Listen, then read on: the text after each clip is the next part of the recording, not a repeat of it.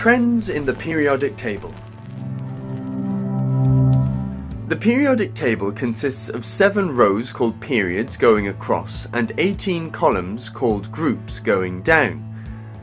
The elements in the periodic table are arranged according to their atomic number, which is the number of protons in their nucleus. So, what do the period and the group show? Well, the period shows the element's electron shell that is being filled.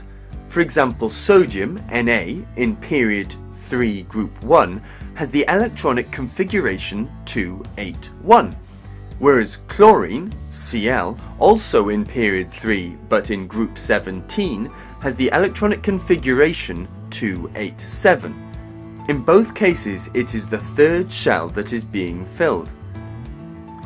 Can you see a connection between the group an element is in and the number of electrons in its outer shell?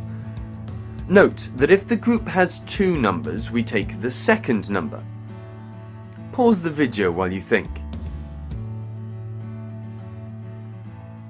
The group an element is in gives the number of electrons in the outer shell of an atom of that element.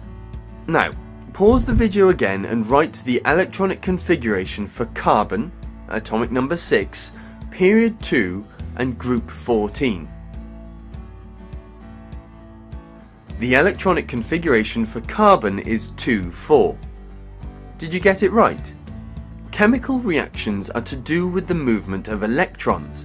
So, as all elements in a particular group have the same number of outer shell electrons, they have similar chemical properties.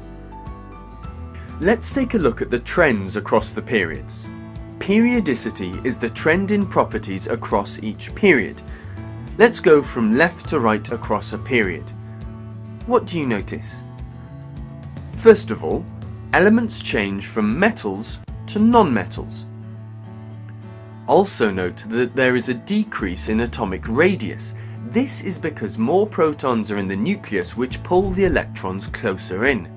There is also an increase in first ionization energy, which is the energy needed to remove the outermost electron, and an increase in electronegativity, which means the attraction of a bonded atom for the pair of electrons in a covalent bond. Now let's look at the trends as we go down a group. Notice that the elements become more metallic. This is clearly seen in group 14, where carbon in period 2 is a non-metal, but lead in period 6 is a metal. By the way, do you remember that metals are elements that react by losing electrons, and non-metals are elements reacting by gaining electrons? Also, going down the group, there is an increase in atomic radius. This means that an extra shell of electrons is added for each successive element. However, there is a decrease in first ionization energy, which, as noted before, is the energy needed to remove the outermost electron.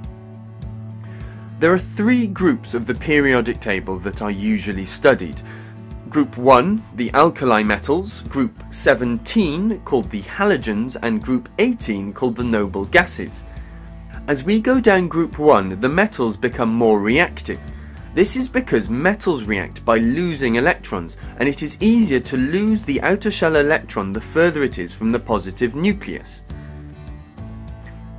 As we go down Group 17, the nonmetals become less reactive, because nonmetals react by gaining electrons and the fewer shells the greater attraction for the incoming electron. And in group 18, elements have a full outer shell of electrons and so are very unreactive. Their densities and boiling points increase on going down the group.